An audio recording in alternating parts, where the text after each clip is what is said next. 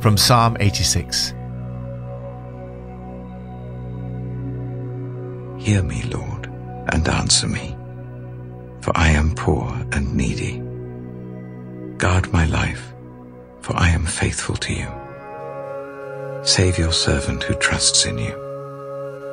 You are my God. Have mercy on me, Lord, for I call to you all day long.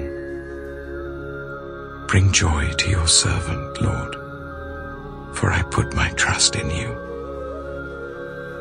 You, Lord, are forgiving and good, abounding in love to all who call to you.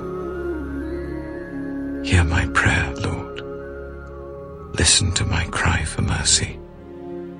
When I am in distress, I call to you, because you answer me. Among the gods, there is none like you, Lord. No deeds can compare with yours. All the nations you have made will come and worship before you, Lord. They will bring glory to your name. For you are great and do marvelous deeds. You alone